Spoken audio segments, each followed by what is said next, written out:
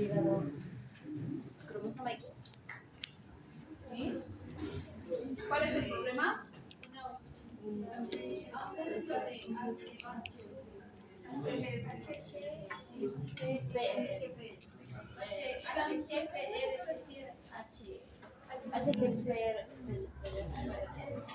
Boxantina, guanina, fosforilosil, transferrasa. Tienen que ser el nombre de la enzima.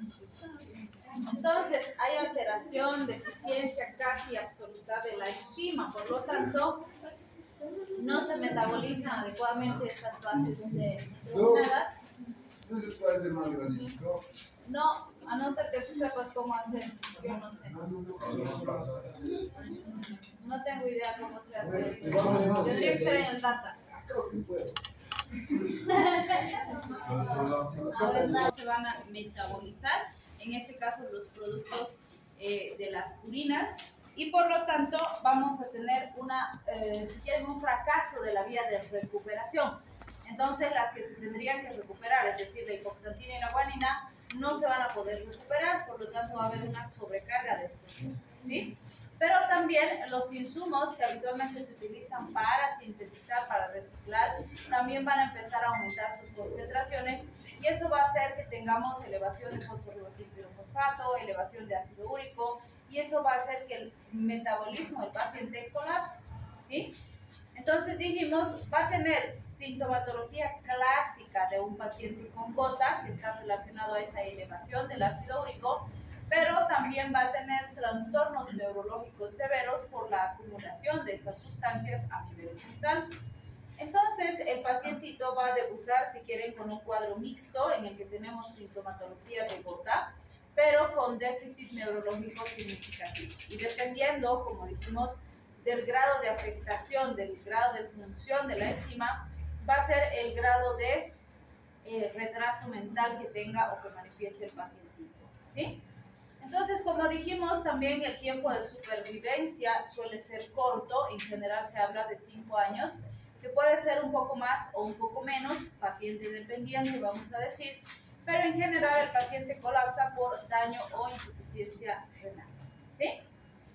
Bien, entonces, decíamos que esta es la vía de degradación de las purinas, es decir, una vez que esas purinas han sido utilizadas, ya sea en su función normal y también han sido utilizadas en esa vía de recuperación como reciclaje para poder sintetizar nuevos ácidos nucleicos, en algún momento finalmente se tienen que destruir y eliminar del organismo. Entonces, es en ese proceso que vamos a ver que dependiendo si es AMP o es GMP, puede seguir dos vías diferentes, es decir, el AMP se va a convertir primero en hipoxantina y el GMP directamente se va a convertir en xantina. ¿Qué vale la pena recalcar aquí? La hipoxantina también se tiene que convertir en xantina, o sea que tiene un paso metabólico más, y la xantina es la que finalmente se va a convertir en ácido úrico, ¿sí? Entonces, vean el punto importante aquí. En ambos procesos, independientemente de que sea AMP o GMP, lo que está haciendo el organismo es transformar una molécula que es difícil de eliminar en una base libre que es más soluble, más fácil de eliminar del organismo, ¿sí? Y para eso lo que va a hacer es romper la molécula, desestructurarla, desarmarla, por decirlo en términos más sencillos, para finalmente poderla eliminar.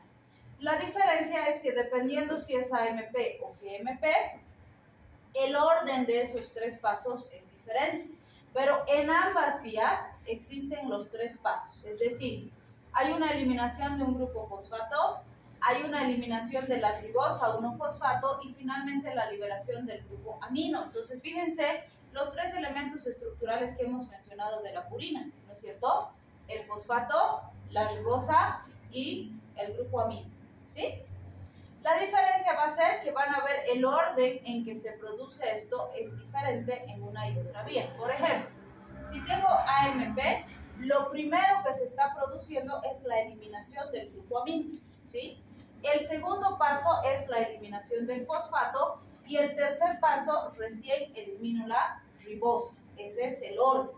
En cambio, cuando tengo GMP, fíjense, primero elimino el fosfato, En segundo lugar, elimino la ribosa. Y finalmente, el grupo amino. Entonces, sí he seguido los tres pasos, pero en un orden diferente. ¿Sí? Muy bien. Entonces, ahora fíjense, para que este AMP se desamine y se convierta en IMP, voy a usar la AMP desaminasa, que hace sacar el grupo amino y transformarla de adenosina monofosfato en inosina monofosfato. ¿Sí? Para que esa inosina monofosfato pierda su fosfato, voy a usar unas 5 nucleotidas que va a desfosforilar a la molécula. Entonces le saca el fosfato y era, fíjense, inosina monofosfato, es decir, inosina con un fosfato. Con esta estoy sacando el fosfato y se ha convertido solo en inosina. ¿Sí? Una vez que tengo esta inosina, a esta la voy a convertir en hipoxantina soluble. Para eso, ¿qué estoy haciendo? Sacando la ribosa 1-fosfato, es decir, el azúcar que tenía la molécula. ¿Qué voy a usar? Una fosforilasa que me va a ayudar a sacar esa pentosa y se va a quedar como hipoxantina soluble. ¿Sí? Entonces, fíjense, esa es una de las ramas, diríamos, de la vía de eliminación de las purinas. ¿Qué pasa en el otro lado? Tengo que la guanosina monofosfato la voy a desfosforilar y fíjense lo que les ayuda a recordar. 5 nucleotidasa, 5 nucleotidasa, es decir, las nucleotidasas son enzimas que me ayudan a desfosforilar. ¿Sí? Entonces, ¿qué voy a hacer? Era guanosina monofosfato. Le saco el fosfato, ¿qué va a quedar? Guanosina, ¿sí? Para que esta guanosina se convierta en guanina, le voy a sacar la ribosa. ¿Quién me va a permitir eso? Una fosforilasa. Entonces, fíjense, fosforilasa, fosforilasa. ¿Sí? Las enzimas son las mismas. Entonces, a esta guanosina le quito la ribosa y se convierte en guanina. Ahora lo único que me falta es desaminar la molécula, es decir, convertirla de guanina en santina. ¿Cómo voy a hacer eso? Voy a usar una amino hidrolasa, porque para sacar este grupo amino voy a romper la molécula con agua, por eso es una hidrolasa. ¿sí? Ahí hay una pequeñita variación, aquí era una desaminasa y ahí es una hidrolasa. Pero en ambos casos lo que voy a conseguir es sacar el grupo amino de la molécula. ¿sí?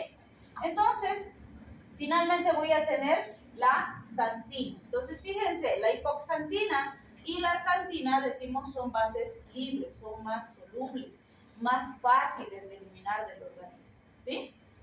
Pero aquí participa una enzima súper importante y que además es muy importante porque es la base para el tratamiento del paciente con gota. Esta enzima se llama santina oxidasa, ¿sí?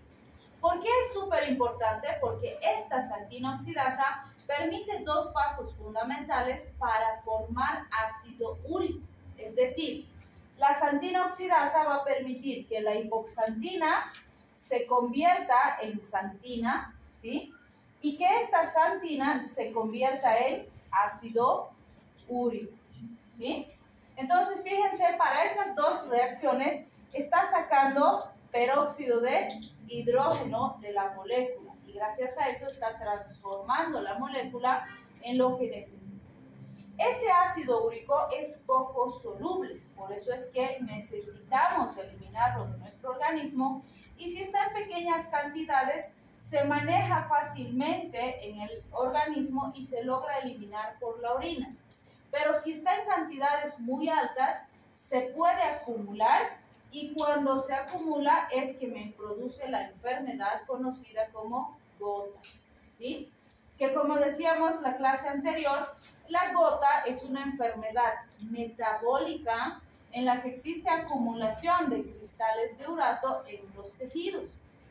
En primera instancia, como decíamos la clase pasada, esos cristalcitos se pueden acumular en articulaciones. Generalmente es monoarticular, que quiere decir una sola articulación.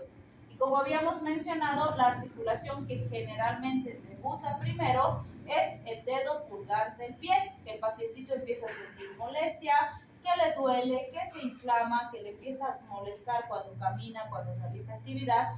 Y después tiene todas las características que hemos visto en la clase anterior, ¿no es cierto? Se pone roja, caliente, se hincha y dificulta la funcionalidad, ¿sí?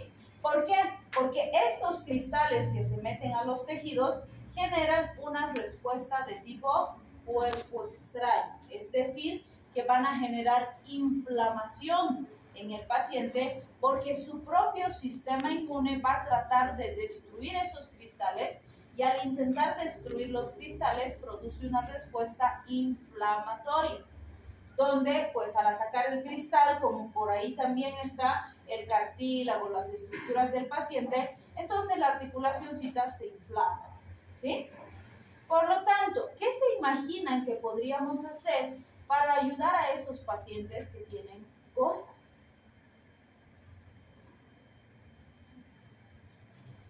O a un pacientito con síndrome de Leishman.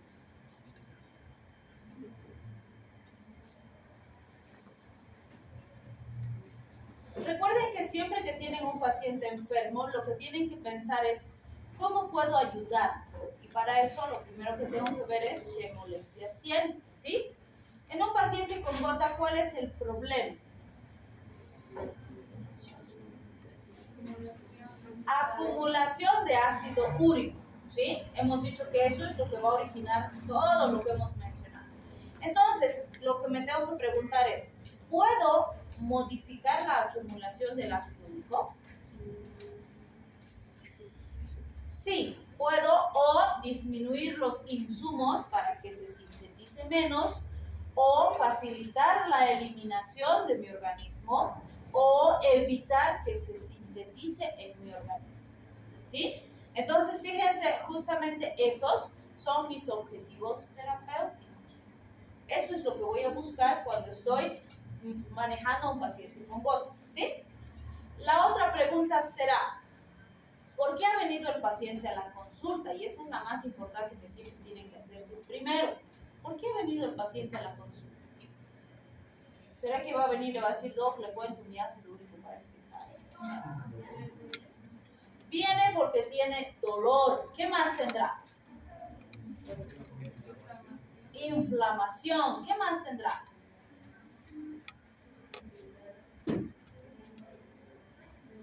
Impotencia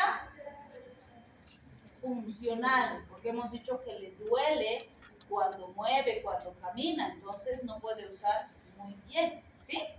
Entonces, fíjense, ¿ustedes creen que el dolor, la inflamación y la impotencia funcional van a ceder haciendo el tratamiento específico del ácido úrico, es decir, bajando el nivel de ácido úrico del paciente? ¿Qué dicen? ¿Sí o no? ¿Qué ha pasado? ¿Hoy día está en modo planta o está muy callado? ¿La calor o el calor?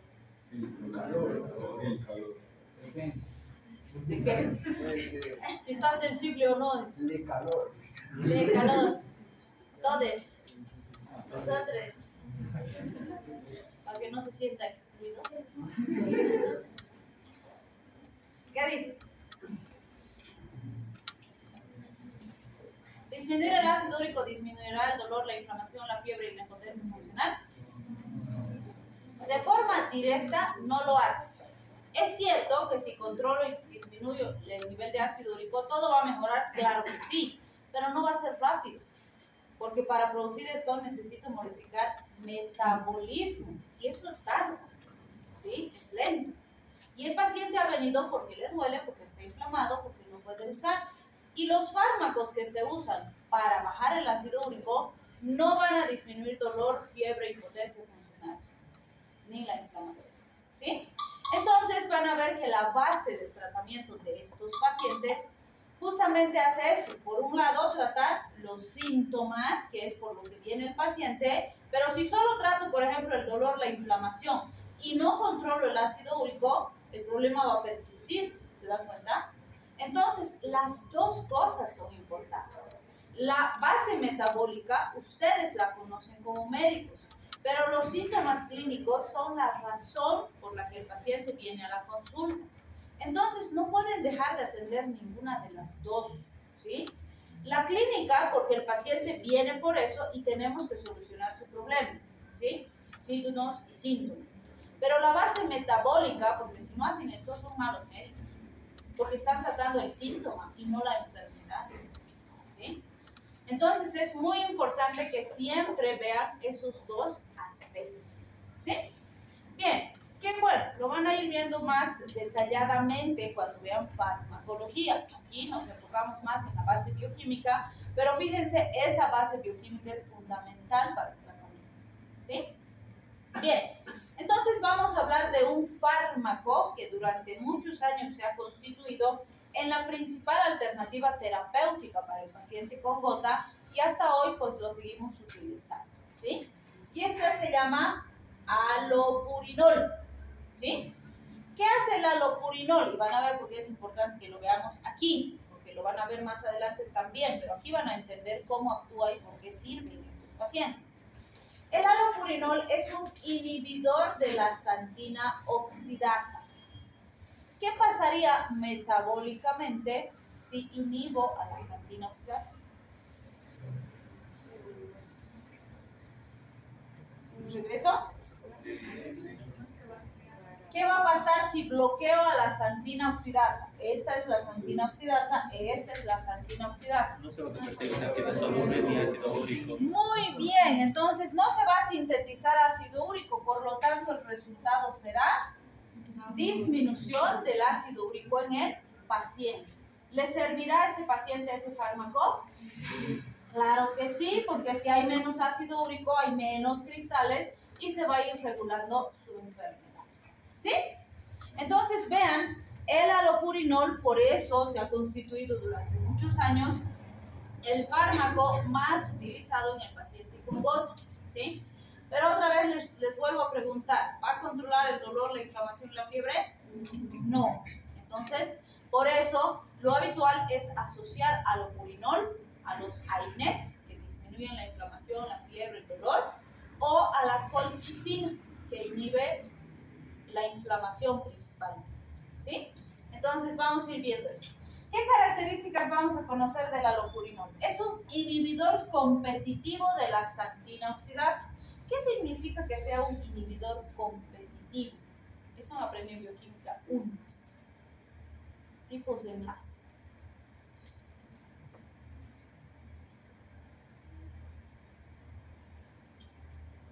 llama al doctor Pozo para preguntarle. Parece que no lo Está ocupado. ¿Qué dice?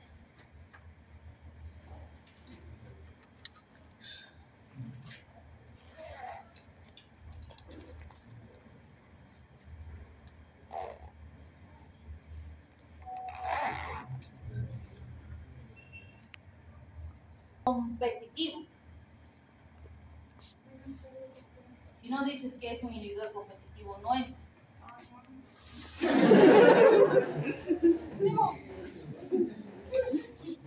Creo que así les voy a decir. Bueno, ¿Dónde está? ¿Que llega siempre tarde? ¿No ha llegado todavía?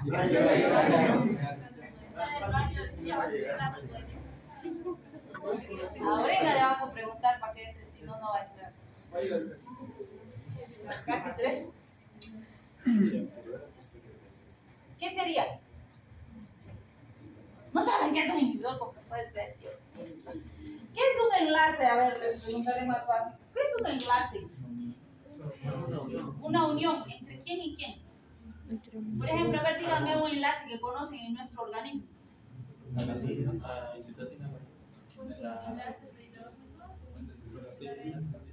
Ya, fisiológicamente hablando, denme un ejemplo de enlace.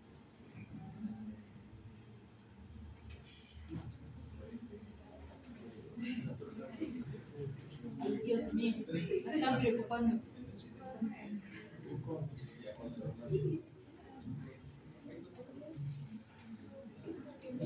Con razón se ha suicidado tu pez. me acordé de eso. Mentira. ¿Y los tres se han suicidado? No, uno Así charlando de su conocimiento previo. ¿Qué hace la hemoglobina? Transporta oxígeno ¿A quién transporta? a los tejidos. Al oxígeno y, y puede llevarlos juntos. No. ¿Qué tiene que hacer para transportar oxígeno? Romper su enlace con el CO2, liberar el CO2 y recién agarrar oxígeno. ¿Qué tiene que hacer si quiere transportar CO2? Romper su enlace con el oxígeno y transportar. Ahí tenemos enlaces débiles, ¿sí?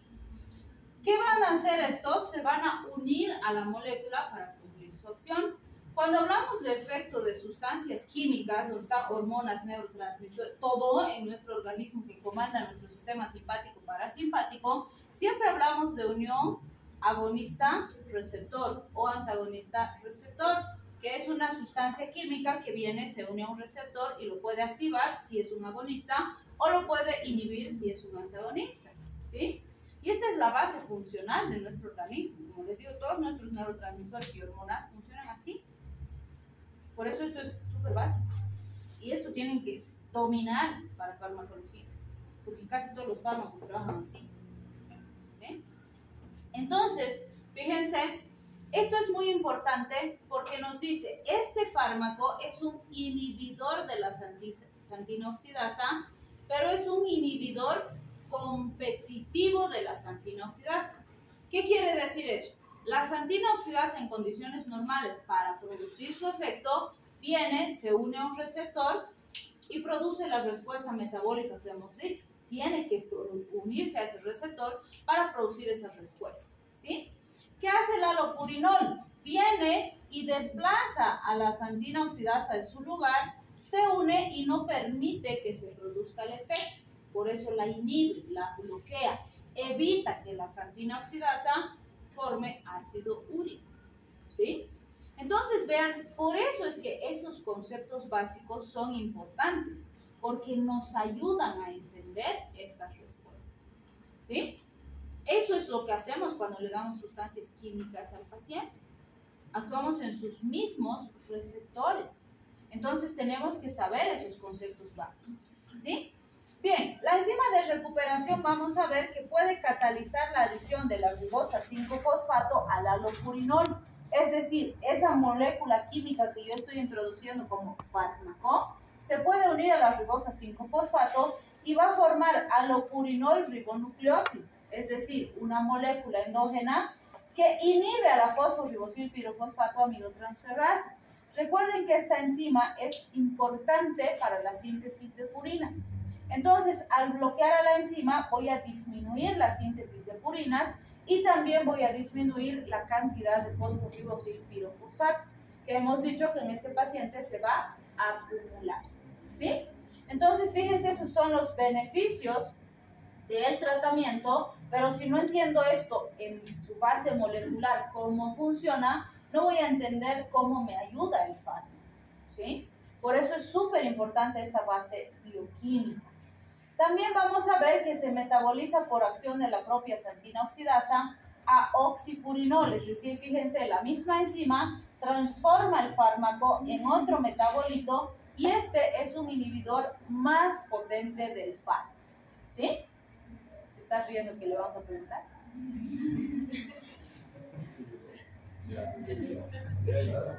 Te cuento. Hay una nueva norma.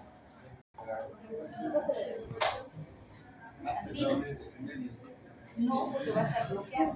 O sea, no te olvides que las enzimas no es que todo el tiempo están, sino que cumplen una función, se van desgastando y se van destruyendo a medida que se van Muy bien, entonces fíjense, algo muy importante es que cuando hablamos ya de la enfermedad de gota, como decíamos en la clase anterior, es que absolutamente cualquier persona puede debutar con gota, es decir, todos nos podemos enfermar con gota, ¿sí?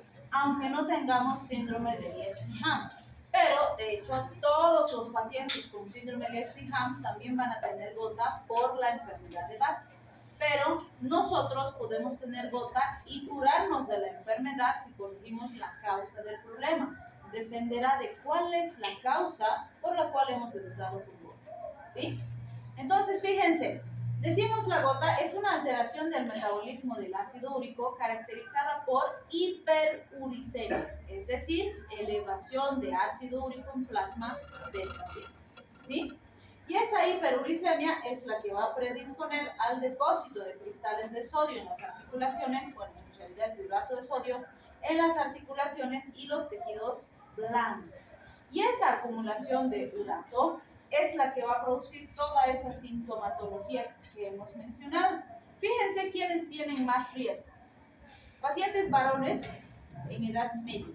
¿Por qué será que tienen más riesgo, sobre todo después de la pubertad?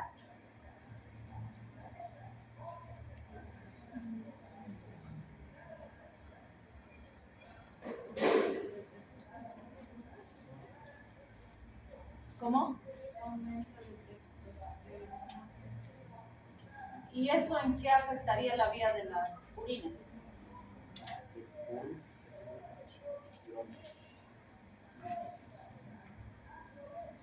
No se olviden que después del empuje puberal, los pacientes empiezan a tener un aumento de la masa muscular, ¿sí? Y también empiezan a tener mayor consumo de alimentos, entre ellos carnes rojas, proteínas y demás, justamente para aumentar masa muscular. Y también suele ser común que en esas edades empiezan su consumo de alcohol. Todos, ¿no?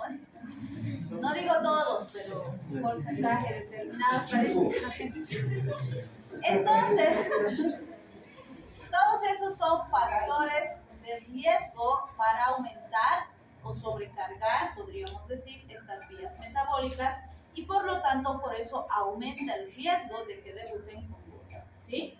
Lo que no quiere decir que todos los Ubers van a tener gota, mentira, tienen más riesgo, nada más. Si son varones, tienen más riesgo, pero no quiere decir que todos los varones y todos los que están en la pubertad van a tener gota, mentira, ¿sí?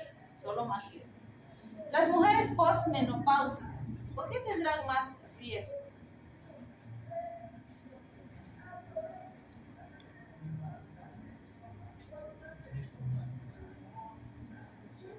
A ver, les cambio la pregunta. ¿De dónde vienen las purinas que tenemos que destruir para eliminar? ¿De dónde viene el GMP, el AMP? Ahí les cambio la pregunta. ¿Para qué usamos las purinas? Acabamos de ver. ¿De verdad está en modo planta? Ustedes hoy día no saben, no responden, no se mueven, no nada.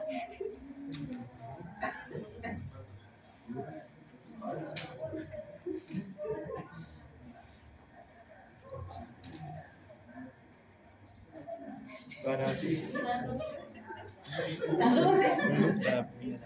La Recién es miércoles, todavía. Creo que sí. Villa de las plantas fosfato de verde.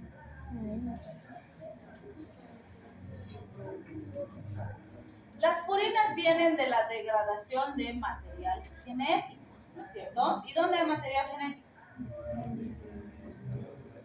En las células, pues. Y en la menopausia existe una, un desbalance, podríamos decir, hormonal, que va a determinar una acelerada destrucción de células. Entonces también se sobrecargan esas vías metabólicas y si bien las relaciones varón-mujer de 8 a 1, es decir, es mucho más frecuente en varones que en mujeres, en las mujeres menopáusicas sube considerablemente esa proporción. Puede llegar hasta 2 o 3, ¿sí? 8 a 3, 8 a 2, ¿sí?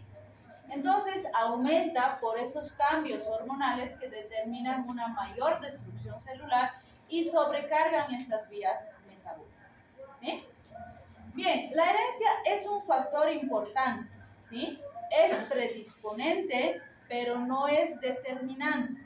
¿Qué significa eso?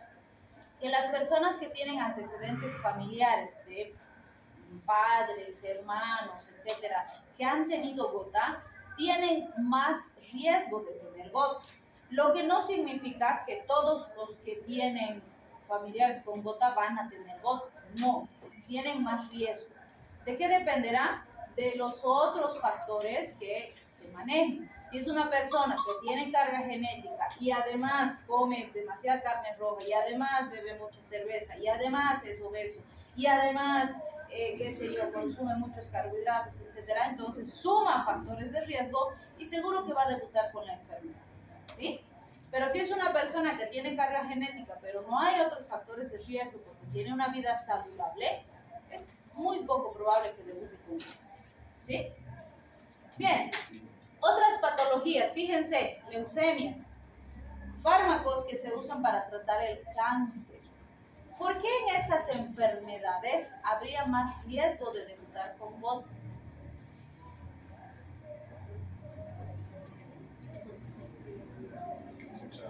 ¿Por qué?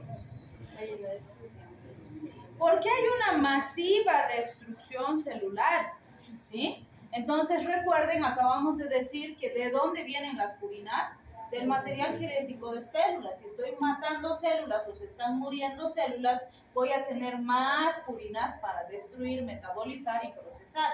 Por lo tanto, sobrecargo las vías metabólicas. ¿Sí?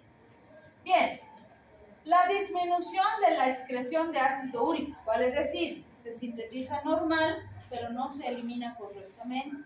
¿En qué caso se ha visto falta de eliminación de ácido úrico? En el uso de fármacos que compiten con el ácido úrico para su eliminación. Por ejemplo, en fisiología ustedes han aprendido que tenemos la nefrona, ¿no es cierto? ¿Qué es la nefrona? Unidad estructural funcional del riñón. ¿Por dónde se eliminan las sustancias ácidas?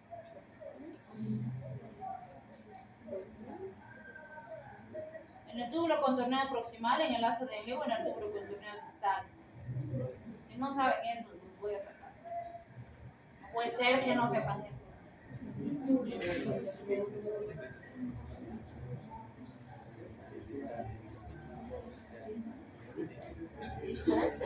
¡Qué barbaridad!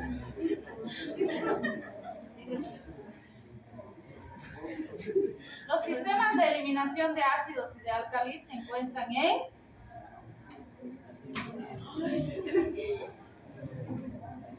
túbulo contorneado proximal. Ahí están los dos sistemas, ¿sí? En el segmento 1 y segmento 2.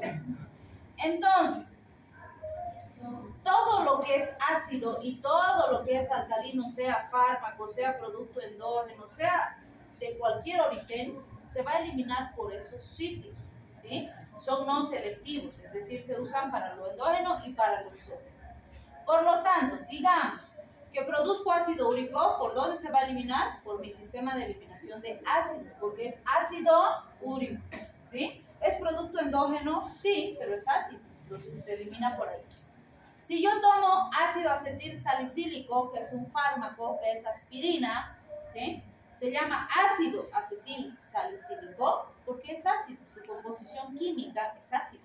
¿sí? Entonces, ¿por dónde se va a eliminar? Por el mismo lugar.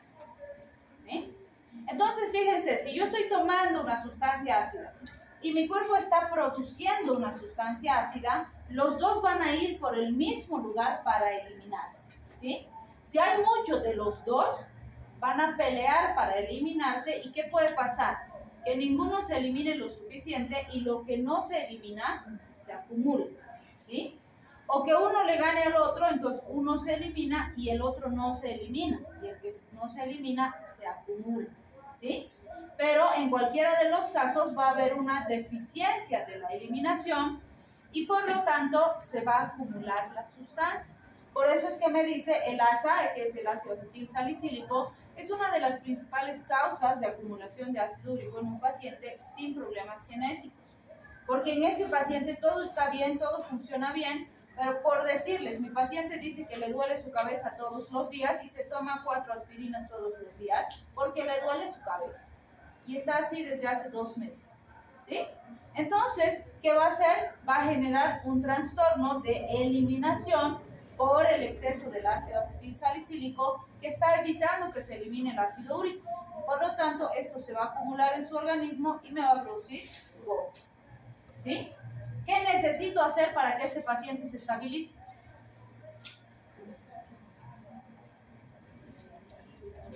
tiene que dejar de tomar ácido acetil salicílico porque él no tiene un problema funcional. El problema es el fármaco que toma y tengo que ver si tiene motivo o no para tomar. Si tiene una cefalea persistente, tendré que hacerle una tomografía, ver si es tensional y cambiar de fármaco porque me está generando una alteración en el paciente. ¿Sí? Bien, lo mismo se ha visto con las tiacidas. Las tiacidas son un tipo de diuréticos. ¿sí? La hidroclorotiacida, por ejemplo, pertenece a ese grupo y es muy utilizada en los hospitales. Entonces, ¿en quiénes usamos? En general en pacientes cardiópatas, pacientes hipertensos, pacientes con retención de líquido por alguna razón, nos ayudan a movilizar líquido, ¿sí? Entonces tendré que analizar si tengo que seguirle dando la tiacina al paciente o puedo cambiar de fármaco a otro que no me produzca esta alteración, ¿sí? Lo mismo con el consumo de alcohol. Ya hemos mencionado, hemos dicho que el consumo de alcohol evita la eliminación de ácido úrico. Entonces, sí es muy común que los pacientes que beben con bastante frecuencia tengan mayor acumulación de ácido úrico en su organismo. ¿Sí? Y esto es por el consumo de bebidas alcohólicas. Entonces, ¿qué tiene que hacer este paciente? Dejar de beber. ¿Sí? Bien, y bueno, esta no es una sustancia de consumo ni fármaco, es un tóxico, pero existe intoxicación por plomo. Puede ser que el paciente se intoxica por algún tipo de contacto en su trabajo o en el lugar donde vive. Hay que tratar de identificar la causa específica, ¿sí? Pero también esta se asocia con acumulación de ácido úrico. Si no encuentro otra causa que me justifique la acumulación de ácido úrico, tengo que pensar en intoxicación por plomo. ¿sí? En general llegamos a ese tipo de diagnósticos toxicológicos por descarte.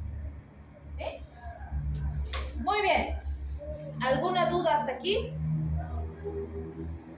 Entonces, fíjense, eso es lo que veíamos un poquito en la clase anterior, donde veíamos las características clínicas de un paciente con gota. Evidentemente un paciente que debuta normalmente va a llegar como el pulgarcito que veíamos el pacientito con Leishman, con su pulgar inflamado, rojito, que le duele, que está hinchado y nada más. Esto así tan tortuoso, tan ampuloso, tan complejo, normalmente se ve en pacientes con gota crónica que llevan muchos años con el trastorno y que no se controla de forma eficaz y ya se están formando los famosos tofos gotosos. ¿Sí? Donde, pues, es, en este caso hay acumulación masiva de ácido úrico en tejidos blandos.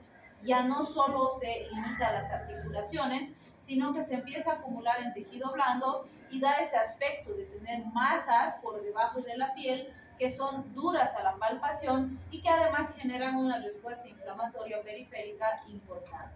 ¿Sí? Bien, entonces, ¿qué vamos a tener? ¿Podemos cuantificar realmente las concentraciones de ácido úrico en plasma? Sí, vamos a tener hiperuricemia.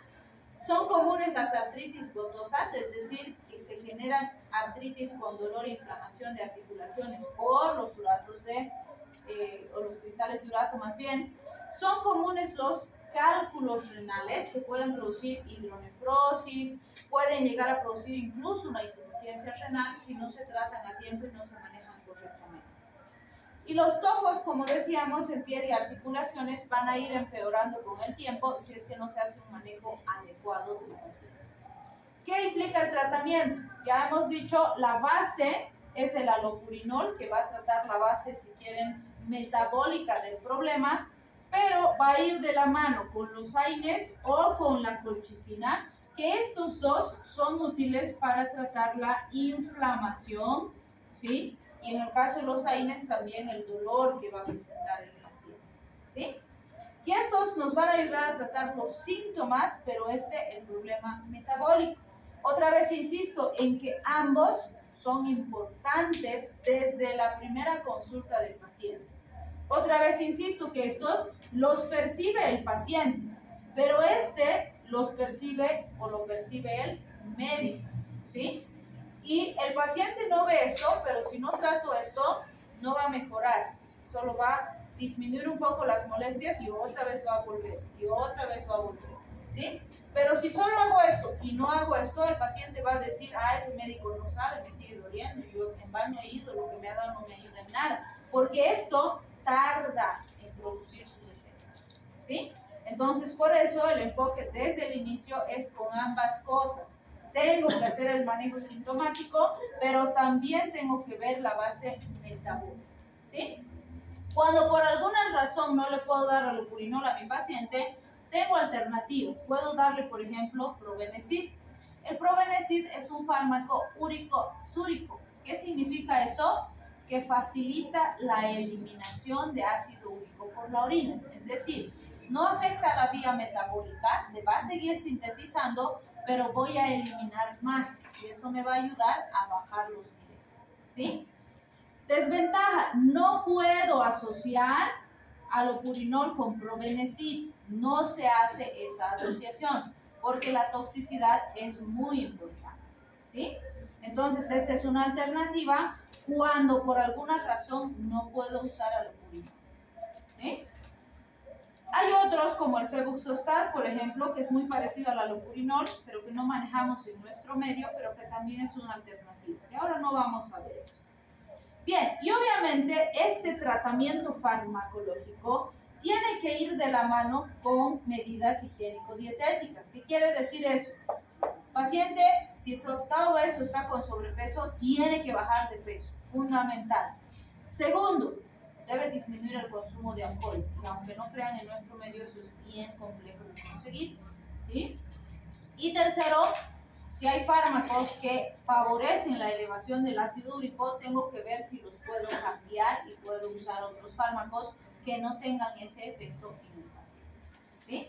Entonces, si solo hago fármaco, fármaco, fármaco y no controlo esto, seguro que va a fracasar el tratamiento. Siempre les digo, los fármacos no son varitas mágicas que le doy al paciente y desaparece el problema mágicamente. No funcionan así. Siempre tienen que ir acompañados de educación del paciente, de medidas higiénico-dietéticas, de hábitos de vida saludables si queremos tener buenos resultados. ¿Sí? ¿Quieren descansar un ratito? Pares de las purinas. Entonces recuerden que las purinas y las pirimidinas son las que forman las cadenas de nuestro material genético. Entonces, son muy parecidas a nivel estructural con algunas pequeñas diferencias que vamos a mencionar y pues las que conocemos son citosina, timina y uracilo, ¿no es cierto? Que van a ir a engranar, por decirlo así, con las otras que hemos visto. Entonces, en este caso, fíjense, una diferencia principal es que las pirimidinas tienen un solo anillo cíclico cerrado. En cambio, las purinas dijimos que tenían dos anillos, ¿cierto? Entonces aquí fíjense, solamente tienen un anillo que es una exosa, ¿no es cierto? Vamos a ver que igual se asocian a una pentosa, es decir, a un azúcar de 5 carbonos que va a estar unido al anillo cíclico cerrado. Otra diferencia es que en el nitrógeno 1 es que se va a unir el azúcar. En cambio, en las purinas, ¿en qué nitrógeno hemos dicho que se unía el azúcar? En el 9, ¿cierto? Entonces ahí tenemos otra diferencia.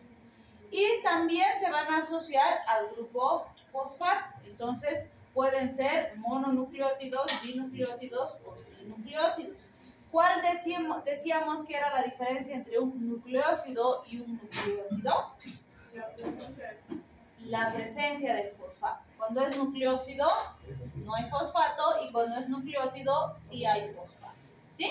Entonces vean, la base estructural de la pirimidina es muy parecido al de la purina, por eso es que son sus pares estructurales. Entonces decimos que son las bases que nos van a permitir formar nuestras cadenas de DNA y RNA. La diferencia va a ser que timina y citosina están presentes en las cadenas de DNA y citosina y uracilo están presentes en las cadenas de RNA. Recuerden que el uracilo no puede estar en las cadenas de DNA y la timina no está en las cadenas de RNA. Esa es una diferencia muy importante que no debemos olvidar. ¿Sí?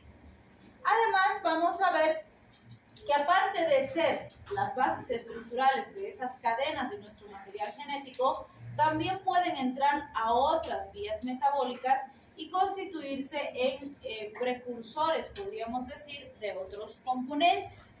Entonces vamos a ir viendo algunas características. Primero, igual que con la vía de las eh, urinas, las pirimidinas tienen una síntesis de nodo de pirimidinas y una síntesis o una vía de recuperación, ¿sí?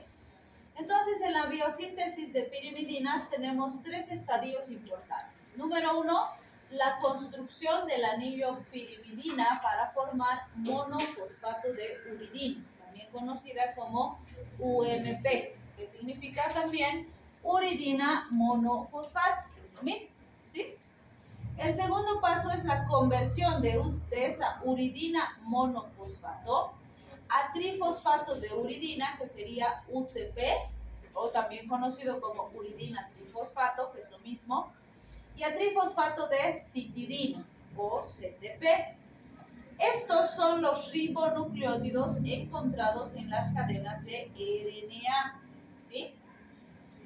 Y fíjense, se llaman ribonucleótidos, de ahí tiene, viene la denominación. ¿Qué significa DNA y RNA? Desoxirribonucleico. Ácido desoxirribonucleico. ¿Y RNA? Ácido ribonucleico. Entonces, fíjense, los ribonucleótidos forman las cadenas de los ácidos ribonucleicos.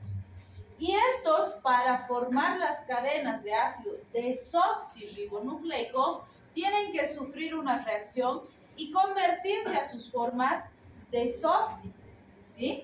Y de ahí vienen los desoxirribonucleótidos que van a formar el ácido desoxirribonucleico. Vale decir, estas son las bases de las cadenas de RNA y estas son las bases de las cadenas de DNA. ¿Sí? Por eso es que su forma desoxi, fíjense que se llama desoxicitidin trifosfato y desoxitimidin trifosfato. ¿Sí? ¿Qué cambio importante han visto aquí? Lo que hemos visto en la anterior diapositiva, ¿qué cambio importante estaba aquí arriba? Regreso. ¿Qué elemento importante les he dicho que aquí no se deben olvidar?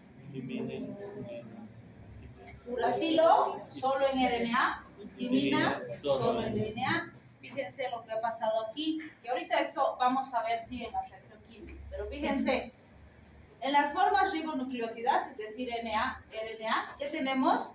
Uridina trifosfato y citidina trifosfato. No hay timina, no hay timidina, ¿sí? Pero para convertirse en su forma desoxi, ¿quién ha desaparecido? La uridina. No hay uridina aquí. ¿Qué hay? Citidina, desoxicitidina trifosfato y desoxitimidina trifosfato. ¿Sí? Entonces, vean, estamos aplicando lo mismo que ustedes ya han aprendido en embriología y genética, pero estamos viendo la base molecular, cómo se sintetizan esas bases nitrogenadas, que son la base fundamental de toda la célula. ¿Sí? Bien, ¿dónde se van a producir estas reacciones? En el citosol celular. La siguiente clase vamos a ver las reacciones químicas con las cuales obtenemos las formas de SOXI y los ribonucleótidos. ¿Sí? Bien, ¿qué otros puntos importantes tenemos? En, el, en, la primera fase de la vía, que es la construcción del anillo de pirimidina, recuerden que con las purinas hemos dicho construcción del anillo de purina, ¿sí? Entonces aquí primero tenemos construcción del anillo de pirimidina.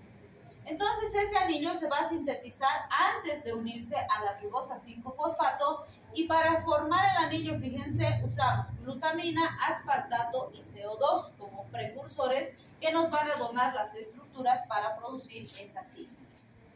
Y para la síntesis tenemos seis pasos y los seis pasos se agrupan de tres en tres, es decir, los tres primeros y los tres segundos, por decirlo así, o los siguientes tres. Entonces, fíjense esta enzima que es muy importante, la carbamilfosfato sintasa, ¿sí? Que es muy importante porque esta es la carbamilfosfato sintasa de tipo 2. que no es la misma enzima que es la carbamoilfosfato sintasa del tipo 1 que han conocido en el ciclo de la urea. Entonces son enzimas diferentes. ¿Sí? Estas reacciones las vamos a ver en la siguiente clase. ¿Sí?